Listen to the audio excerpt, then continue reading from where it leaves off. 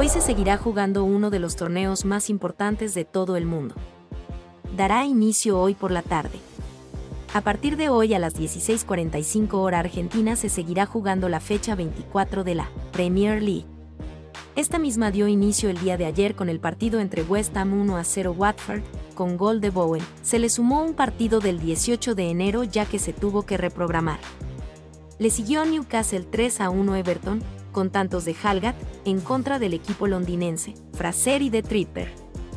Finalizó el día con Burnley 1 a 1 Manchester United.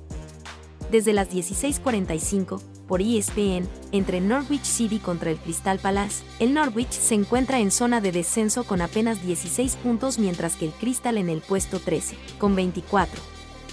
A la misma hora, también, se jugará Manchester City ante el Brentford, nuevo equipo de Eriksen. El equipo dirigido por Guardiola está primero con 57 puntos mientras que las abejas están ubicados en el puesto 14 con 23. Al igual que el primer partido, se jugará Tottenham Hotspurs ante el Southampton. El equipo donde juega Cristian Romero está posicionado en el puesto 7 con 36 puntos, a 3 de poder ingresar a zona de Europa League. Por otro lado, el Southampton se puede ver en el puesto 12 con 25. Cierra el día el Aston Villa que está onceavo contra el Leeds quinceavo.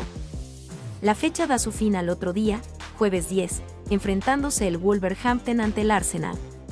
El Wolves se ubica en el puesto 8 con 34 puntos mientras que el Arsenal está sexto peleando por el lugar en la Europa League.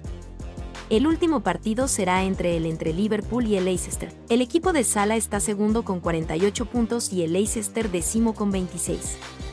Por el momento, la Premier League tiene a su campeón que es el Manchester City con sus 57 puntos, mientras quien lo mira desde una distancia aceptable es el Liverpool con 48. Si bien lo más seguro es que se consagre el City, aún faltan jugarse 14 fechas en las que cualquier cosa puede llegar a pasar.